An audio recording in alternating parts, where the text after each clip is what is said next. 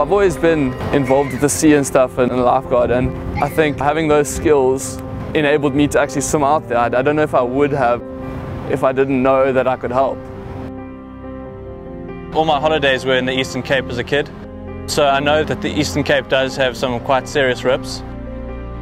Initially when I saw them, they just looked like they were swimming, but they soon started shouting and waving. I was running along the beach and saw one of the marshals that actually jumped over one of those retaining walls onto the beach with his, with his bike on his shoulder and started taking off his shoes and shirt and, and the whole knot.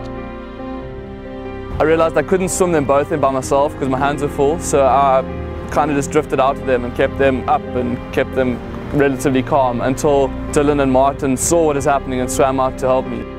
I wasn't really scared because I knew I could get myself out and back.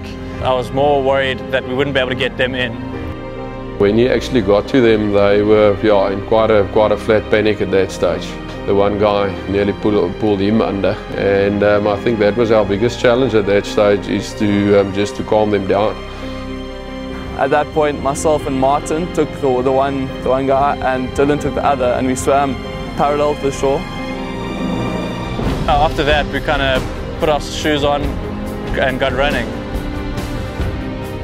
Getting back into the zone or getting back into the race, I think it was more for me a, a, um, a bit of an adrenaline rush at that stage.